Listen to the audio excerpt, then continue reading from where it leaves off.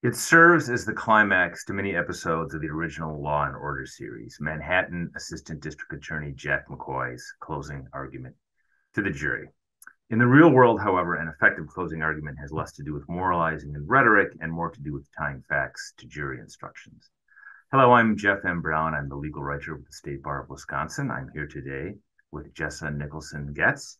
She's an experienced criminal defense lawyer here in Madison, and she is scheduled to give a presentation on strategies for jury arguments at the State Bar's annual Forensic Justice Institute, which is taking place January 19th through 20th. Welcome, Jessa. Thank you for having me. I appreciate it. Great, great. Thanks for being uh, here today. What are some of the strategies for jury arguments that you'll be discussing at the Forensic Justice Institute?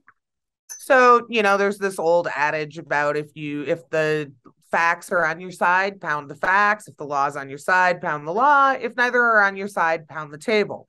I personally believe that a little bit of table bounding in every case is appropriate.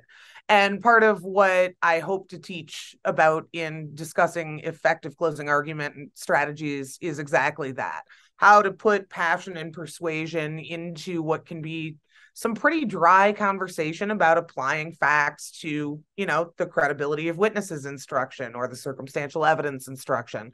So that merging of facts and law in a way that creates a narrative that makes people want to go vote for you. Is there a way because that whole tying of facts to jury instructions, which can be you know, rather long-winded, it, it, it can be mechanistic at times for for jury members.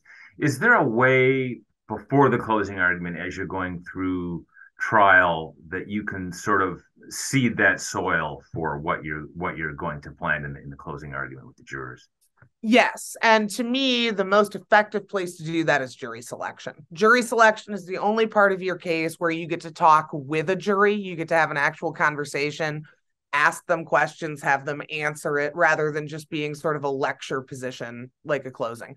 So I usually, if I know there are certain things that are going to be a focus in a trial, I introduce those ideas really early in the jury selection process. So for example, I just finished up a trial last week and circumstantial evidence was a big part of the argument.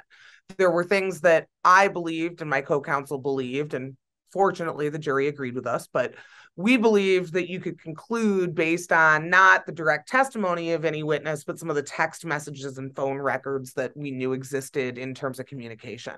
And so starting to talk about a jury talk to the jury about circumstantial evidence in jury selection and how many people are comfortable using something like that um, you know, how many people would be concerned that you have to draw inferences and make these conclusions versus have something say on videotape for you to decide.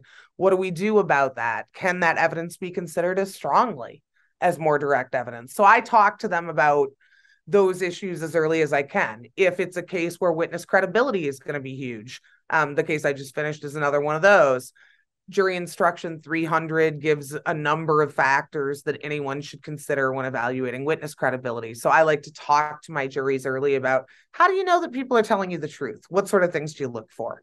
And then after I get some of those ideas, I say to them, well, the judge is going to tell you a bunch of things. How many people think that those make sense?